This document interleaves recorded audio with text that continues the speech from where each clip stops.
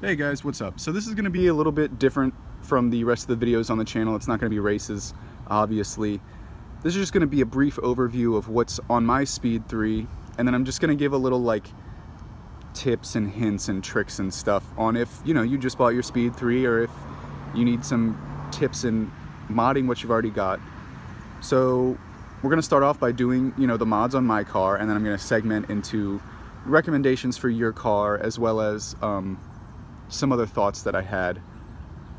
Um, so let's start it off. So for performance mods, it's pretty basic.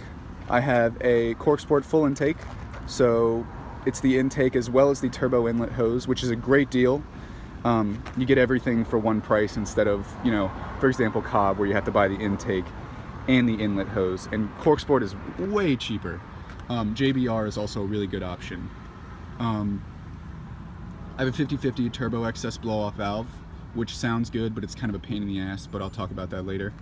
And then I have a eBay catless 3-inch downpipe, which has worked flawlessly so far. No leaks, um, no cracks, fit really well. It, yeah, it's great. Um, I also have a Cobb Accessport and a hypnotic tune. Um, as for some visual stuff, I have tinted my headlights fog lights and then I also have a um, lip from an 04 STI that I painted to fit, or that I painted and then cut to fit, which is a really great deal. Like it's it's maybe an hour of work, hour or two of work, but you know I think it looks way better than kind of like the how the way the lip hangs otherwise. And it's also like 40 bucks. Like you can get it off eBay or Amazon for 40 bucks, which is a pretty good deal because chances are you're gonna beat up your lip anyway and it's much better than paying like 180 bucks for like a Corksport one. Um, other than that, I have 5 inch spacers on the front and 10 in the back with extended lugs. Other than that, it's pretty pretty stock. It's not lowered. No no no catback or anything like that.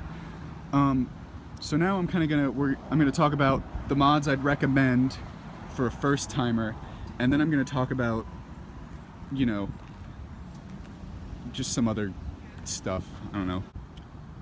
Alright guys, so this is the part of the video where I'm going to talk about what mods I recommend for, you know, a first timer or if you're thinking about modding the car you already have. Um, so that's, that's going to be what I'm talking about.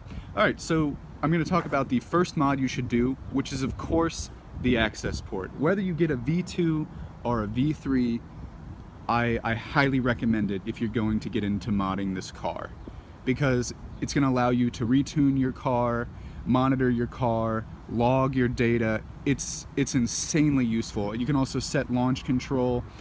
And Cobb also gives out their Access Tuner race for free. So if you want to learn how to make your own maps or even, I don't know, it's just fun to fiddle around with. But um, highly recommend the Accessport as a first mod. You also get the um, the stage one tune, which helps a lot with consistency as well as bumping up the power a bit. Nothing major, but, but you'll feel it if you don't have any other bolt-ons on your car. Other than that, the next mod I'd recommend would be the uh, full intake. So whether you get that from Cobb or JBR or Corksport, doesn't really matter. They're all the same, um, but they work great. The cars really love more air. Like besides the downpipe, the intake is probably the best bang for your buck. You'll feel it, it makes a great noise, flows a lot better. You'll probably get an extra like 20 horsepower to the wheels out of the deal. It's, it's fantastic. Um, after that, of course, high pressure fuel pump. Can't stress this enough. There are too many people who've blown their engines because, you know, they decide that they'll do intake and downpipe and then they won't get a high pressure fuel pump and their fuel pump can't keep up and you're running lean and then the car explodes. So definitely if you're doing anything more than like an intake, you are going to want the high pressure fuel pump. And it's pretty easy to install. It's not as bad as some people will make it out to be. It took me like three hours, not a bad deal. Um, after the fuel pump, you're free to do whatever you'd like. You can put a bigger turbo, a full turbo back, whatever you'd like. It's, it's just important that the engine gets the fueling it needs to actually run. And with the high pressure fuel pump, you also have the option of running uh, E85, which is really great, but uh, I'll talk about that later. Um, so one other mod I'll really recommend is uh, a rear motor mount, which I do have on the car. I think I have like a, a it's like a jawbone or like something like that. It was like an $80 one, um, really stiff, but it, it makes the car less kind of jumpy. Like if you're flooring it, you, you, know, you're trying to do like a launch or something like that, um, it'll reduce wheel hop. Um, it'll make the engine more stable.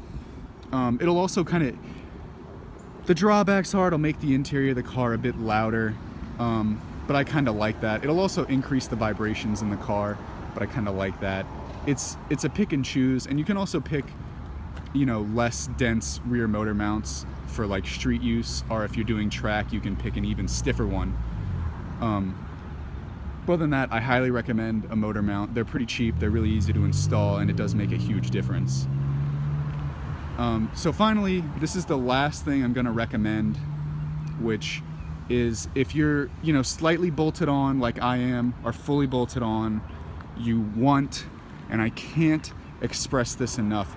You want a Pro RE tune because Cobb tunes not not bueno at this at this point. Like if you're running downpipe intake and a few other, you know, downpipe intake. That's what I've got. The the tune helps so much. Like it's easily an extra 20 horsepower to the wheels. It's insane. Cobb tune I was making 17 pounds of boost. Pro tune I'm making 21. It's it's crazy. Um, I have a hypnotic tune if you're if you're asking about it. Um, I, I also have the liberty to run E30, which is insane. That's an extra like 30 horsepower.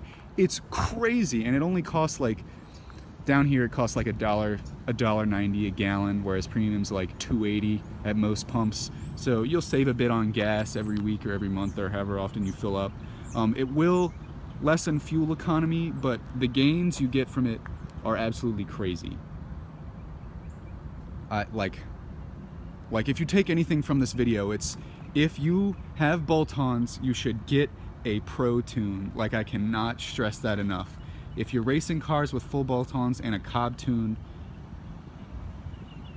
can't take you seriously, man. Um, other than that, that's that's the video. Just showing you my car, talking about some things that I'd recommend. Um, hope you guys kind of like this change of pace now you kind of know with what I'm what I'm running with if you see the car racing other cars.